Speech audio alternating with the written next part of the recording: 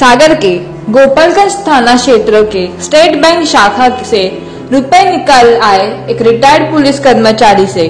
दिन दहाड़े बैंक के परिसर के बाहर दो बाइक सवार युवकों द्वारा बयालीस हज़ार रूपए लूट करने का सनसनीखेज मामला सामने आया है, जहाँ पीड़ित की रिपोर्ट पर गोपालगंज पुलिस ने मामला दर्ज कर मामले की तफसीत से जुट गई है। मकरोनिया के ज्योति नगर में रहने वाले 60 वर्षीय रिटायर्ड पुलिस कर्मचारी छोटे सिंह उस समय लूट का शिकार हो गए, जब वह स्टेट बैंक की गोपालगंज शाखा से बयालीस हज़ार रूपए निकाल कर बैंक के बाहर वापस अपने घर जाने निकले। टैक्सी का इंतज़ार कर रहे थे। उसी वक्त पीछे से आए बाइक सवार दो युवक उनके रुपए से भरे थैली छीनकर चंपत हो गए। जब तक छोटू सिंह कुछ संभाल पाते तो लूट की वारदात का शिकार हो गए।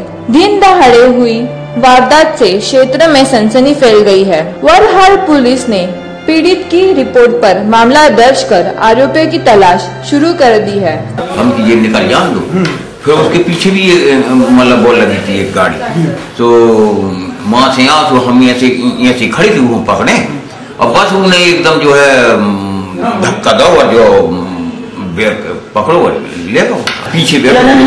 दो जने। एक आगे चला रहा तो ऊपर नहीं हमने देख पाओ दो पीछे बैग बैठे तो उन्हें झपको है मोटो है।